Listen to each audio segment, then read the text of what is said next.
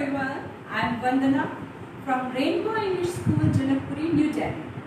As you know, it is very difficult to just grab attention of a tiny tots, especially in the online classes. So we are experimenting new things and here is one with you. Can you see the spider? Can you see this? Okay, now I'm going to recite a poem, okay?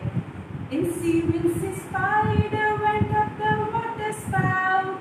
Down came the rain and washed the spider out.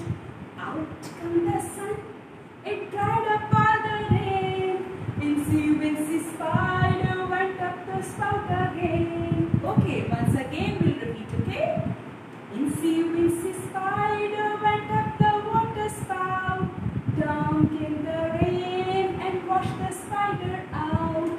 Out come the sun, it dried up all in sequence, the spider went up the